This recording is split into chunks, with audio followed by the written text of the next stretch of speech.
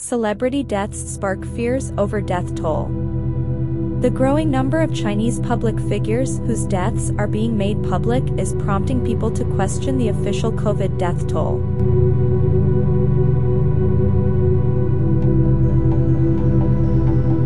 The death of Chu Lanlan, a 40-year-old opera singer, last month came as a shock to many, given how young she was.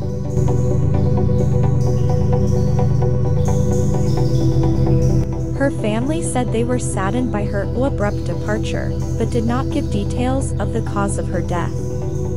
China scrapped its strict zero COVID policy in December and has seen a rapid surge of infections and deaths.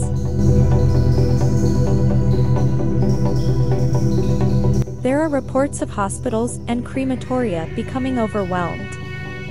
But the country has stopped publishing daily cases data and has announced only 22 COVID deaths since December, using its own strict criteria.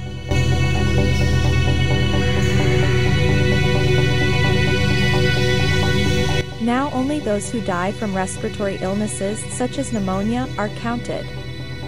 On Wednesday, the World Health Organization, WHO, warned that China was underrepresenting the true impact of COVID in the country, in particular deaths.